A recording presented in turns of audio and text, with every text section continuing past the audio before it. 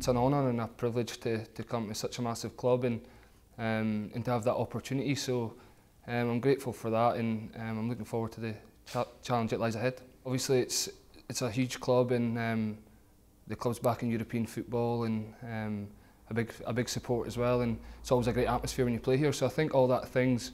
Um, in the package that comes with it, it's it's a, it's an exciting time. So um, I'm really looking forward to it. It's a surreal moment, but I'm I'm delighted to be here and um, it's an honour to, to, to be a part of this club.